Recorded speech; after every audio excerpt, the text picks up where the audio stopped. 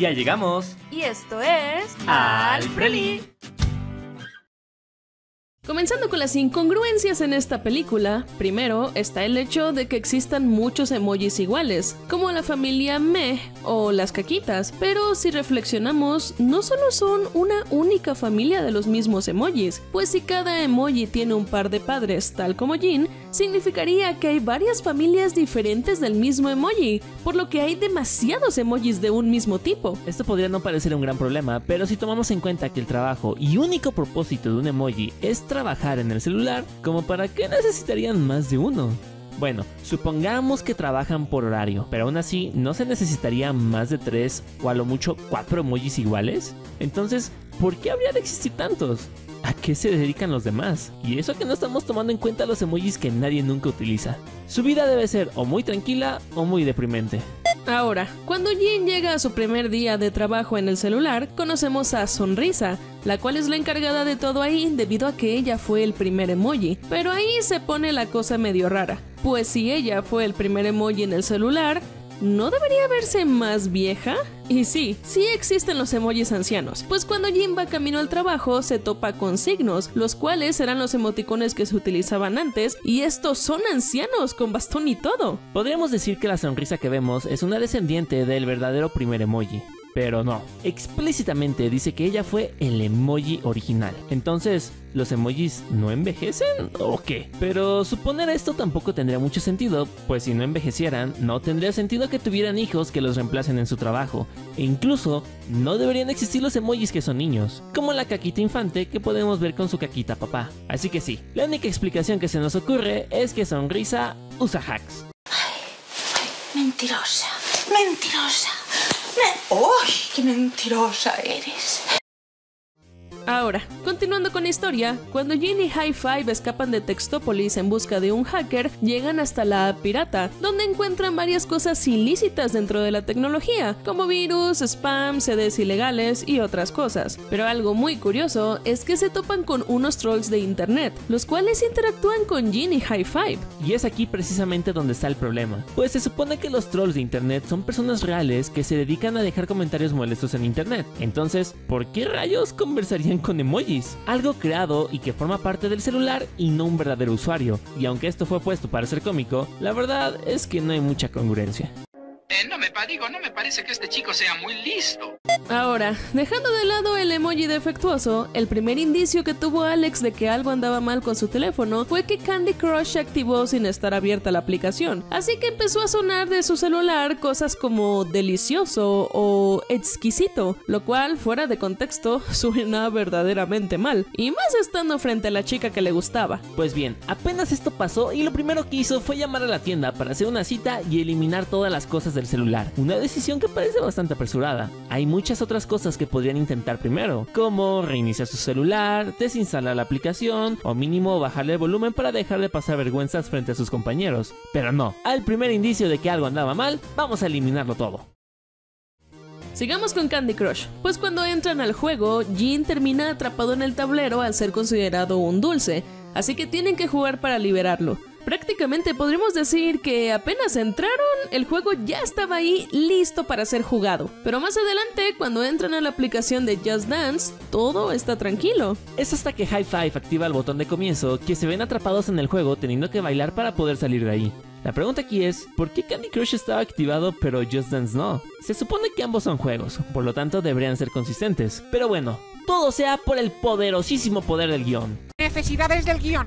Siguiendo con estos apps de juegos, hablemos de Just Dance, pues después de que Jin y los demás se pusieran a jugar, esta se activó en el celular y le causó problemas a Alex por hacer ruido durante una de sus clases, así que desesperado porque su celular se callara, eliminó la aplicación haciendo que todos corrieran antes de ser eliminados también. Jin y la hacker logran salir, pero High Five no, por lo que deciden ir a buscarlo hasta el basurero. Pero aquí está el problema, y es que cuando borras, por ejemplo, una imagen, esta sí se va al basurero, donde después de un tiempo es eliminada por completo y en automático. Pero con Just Dance no debió pasar esto, pues al borrar una aplicación de tu celular, esta se desinstala, o sea, se elimina por completo. Así que no tiene sentido que la aplicación termine en el basurero del celular. Siguiendo con el tema del basurero, otros de los seres que podemos ver que terminaron ahí son los trolls de internet. Esto después de que los bots los borraran por estar en la pirata. Ya hablamos sobre lo que realmente es un de internet, así que si no tiene coherencia el que hablen e interactúen con emojis,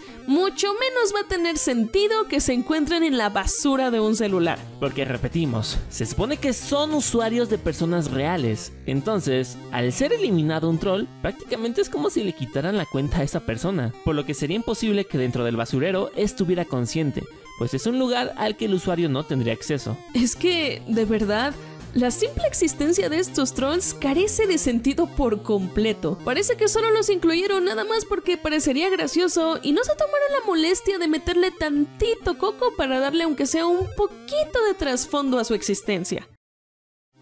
Continuamos con que cada vez que Jean y sus amigos entran a una aplicación, esta termina siendo activada y molestando a Alex en su día a día. Y no solo los juegos, pues incluso con el simple hecho de navegar por las ondas de Spotify también provoca que la música suene por sí sola en el teléfono. Pero algo curioso y un detalle que tal vez se les escapó es que Jean no es el único que anda por ahí vagando en el celular pues cuando escapó siendo perseguido por los bots que querían eliminarlo, sus padres fueron tras él para intentar ayudarlo, por lo que al estarlo buscando, sus padres también estuvieron deambulando por diferentes aplicaciones del celular. Pero a diferencia de su hijo, las aplicaciones a las que sus padres entraban no perjudicaban en nada al funcionamiento del celular. Uno podría pensar que tal vez es porque sus padres solo entraron a las apps sin interactuar con ellas, pero no. Cuando entran a YouTube, hasta ponen videos de gatitos tiernos para intentar distraer a los bots que los perseguían Maravillosa jugada. Y al navegar por Instagram y meterse las fotos, esto tampoco provocó que la aplicación se activara en el celular. Entonces, ¿dónde está la congruencia? Nada. No hay. No existe. Ya que estamos por aquí, continuemos con la visita de los padres de Jean a Instagram, donde, como ya mencionamos, no solo se pusieron a ver fotos bonitas, sino que literalmente entraron las fotos y se pusieron a pasear por toda una plaza al atardecer. Como, ¿por qué podrían hacer esto? Se supone que las imágenes son 2D, ni siquiera son de esas donde puedes girar y ver algo en 360 grados. Pero bueno, Supongamos que es normal que puedan entrar a la foto, pero ¿cómo o de qué forma es que el mundo de la foto se hace más grande de lo que realmente es? Y es incluso, al ser seres meramente virtuales, las formas en las que se adentran a un nuevo mundo dentro de la foto es irreal, pues ven cosas que ni siquiera se alcanzan a apreciar en la foto como el horizonte y cosas que hay mucho más allá. Incluso la señora Me puede mover el agua de la fuente de su posición, como si simplemente entraran a un mundo extraño congelado, el cual pudieran manipular a su voluntad. ¿Qué clase de tecnología avanzada es esa? Son expertos, expertos, Bob. Después de que los bots de sonrisa no pudieran alcanzar a los chicos y de que viera cómo Alex hizo la cita para borrar todo en su celular, Sonrisa se desespera ante la inminente derrota. Así que decide romper las reglas y mandar un bot ilegal más poderoso para poder eliminar a Jean de una vez por todas. Pero a pesar de su gran poder, en su primer encuentro con Jean y con sus amigos, el bot termina fallando dejando que sus presas escapen entre sus tentáculos. Pero hay algo raro en la manera en la que logran escapar, pues cuando se enfrentan a él, deciden separarse y escabullirse entre las aplicaciones mientras son perseguidos por los tentáculos del bot. Así, después de dar varias vueltas, terminan enredando sus tentáculos sin permitirle poder alcanzarlos, así que aprovechan la situación y no pierden el tiempo para huir. Pero es el hecho de que los tentáculos del bot se tensen y enreden lo que no concuerda, pues unos momentos antes, precisamente cuando el bot aparece frente a ellos, podemos ver varios fragmentos con forma de píxeles llegar uno por uno y acumularse hasta formar por completo al bot, por lo que deducimos que el bot tiene la capacidad de separarse en fragmentos o píxeles y volverse a unir. Así que el que su cuerpo se tense tal como una cuerda no parece muy congruente, en especial porque para desenredarse, el bot decidió regresar sus tentáculos por donde los había pasado, cuando perfectamente pudo haberse separado en píxeles y volver a armarse, lo cual sería más rápido, y así tal vez hubiera podido alcanzar a su objetivo. Tal vez su poderoso bot pirata no es tan poderoso como Sonrisa creía. Ya que estamos hablando de este bot armadísimo, veamos algunas otras cosas que están mal con él. Pues después de perseguir a Jean y el resto, termina perdiéndolos por completo cuando llegan a Dropbox. Pues, en palabras de la hacker, ese es un lugar seguro, por lo que el bot, al ser un programa ilegal, no puede entrar ahí. Hasta este momento todo bien. Los chicos entran a Dropbox y después de unas cuantas quemaditas intentando descifrar la clave, logran entrar a la nube donde Jean termina declarándole su amor a la hacker, siendo rechazado y convirtiéndose así mismo por completo en un verdadero me. ¿quién diría que pudo haberse ahorrado todo esto con una desilusión amorosa? Pero es entonces que cosas extrañas pasan. Pues de la nada, ¡boom! El body ilegal aparece y se lleva a Jin con él de regreso a Textópolis. Sorpresa, ¿a que nunca creíste volver a verme?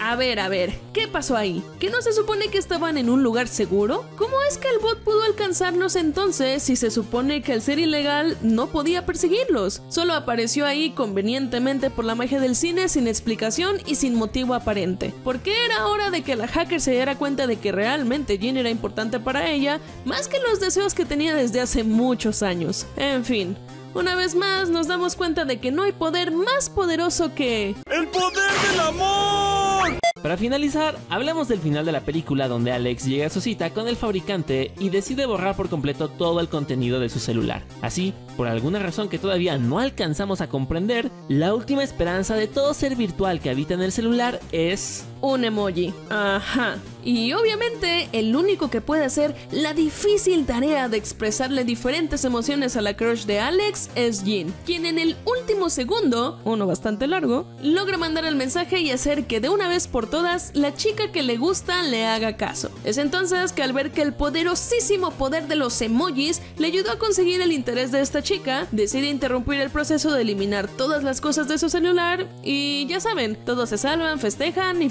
feliz. Pero ¿por qué rayos Alex decidiría interrumpir el proceso de su celular por un simple emoji? Primero, ya tenía la atención de la chica, por lo que hacerlo para que no eliminaran ese extraño emoji no suena muy convincente, en especial porque su celular parecía tener bastantes fallas. Y aunque nosotros sabemos que todo lo que pasó fue culpa de Jin, Alex no tiene ni idea, así que está dejando de lado todos los problemas que su celular podría causarle al no estar funcionando correctamente. Pero oigan, ¿Quién necesita de un celular funcional que no te cause problemas cuando tienes el interés de la chica que te gusta?